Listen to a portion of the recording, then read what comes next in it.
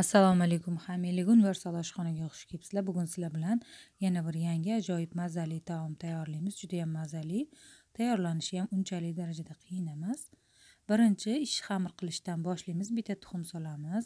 Bir choy qoshig'ida tuz ikki yuz millilitr suv vilkada yaxshilab aralashtirib olamiz. besh yuz gramm un ishlatdim besh yuz gramm unimizni yarmini solib avval xamir holiga keltirib keyin qolganini ham solib qo'limizda xamir qorishni boshlaymiz.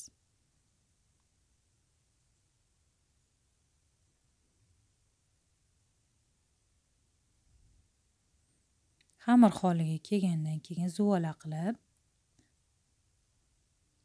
ustini yopib tindirishga qo'yib qo'yamiz. Bu orada zirvagini tayyorlaymiz. Qozonimizga bir yuz ellik ikki yuz millilitr o'simlik yog'i solib go'shtimizni solamiz. Besh yuz gramm go'sht. Bundan ham ko'proq solsanglar bo'ladi agar. Xohishga qarab go'shtinglarni kam ko'pi. Go'sht qizarguncha qovuramiz endi ikki dona to'g'ralgan piyoz. Bir ikki minut qovuramiz to'g'ralgan ikkita uchta sabzi yirik yirik to'g'ralgan. Buni ham bir ikki minut qovuramiz juda yam ko'p emas endi tuz. Qora murch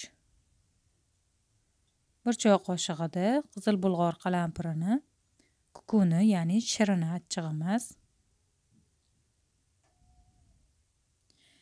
yaxshilab yana ikki uch minut qovuramiz suv solamiz toki masallig'imizni yaxshilab ko'mgunicha.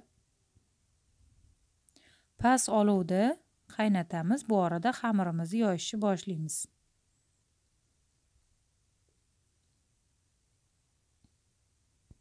Tingan xamirimiz o'zi tezda chiroyli bo'lib yoyiladi.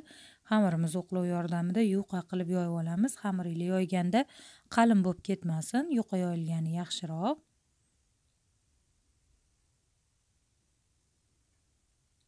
Xamirimizni yuqa qilib yoyib olganimizdan keyin ustiga eritilgan saryog'i suramiz. Man chesnik bilan aralashtirib surdim. Xohlamaganlar chesnik solmasliklari mumkin. Ichiga bir dona chesnokni mayda to'g'rab sovoriladi chesnoni xohlamaganlar umuman solmasdan faqatgina saryoni o'zini surishlari mumkin. Endi xamirimizni bir chetidan ikki uch marta o'rab kesib chiqamiz. Undan qalin qilib yubormanglar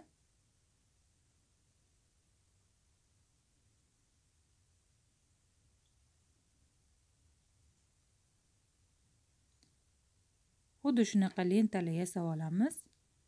O'raganimizda shunaqa lentalar paydo bo'ladi. Kichkina kichkina qilib to'rtburchak shaklda kesib chiqamiz. Mana xamirlarimiz tayyor hammasi. Endi sardegimiz tuzini ko'rib kam bo'lsa solamiz yana ozgina. Ustiga uchta to'rtta kartoshkani katta katta bo'lak qilib solamiz. Kartoshkani mayda solish kerak emas katta bo'lsa ham pishib ketadi xamir pishgunicha kartoshkani solib srazi ketidan ham to'g'ralgan xamirlarimizni solib chiqamiz. Bo'sh joylariga xamirni solishga harakat qilinglar.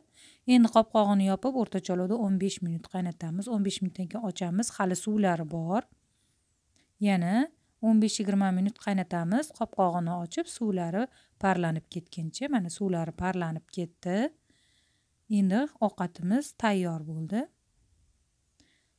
Laganimizga avval tagiga xamirini ustiga sardagini olib suzib olamiz.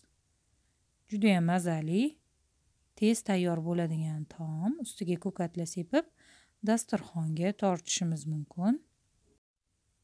Juda ham mazali taom chiqadi. Albatta tayyorlab ko'rishinglarni tavsiya qilaman.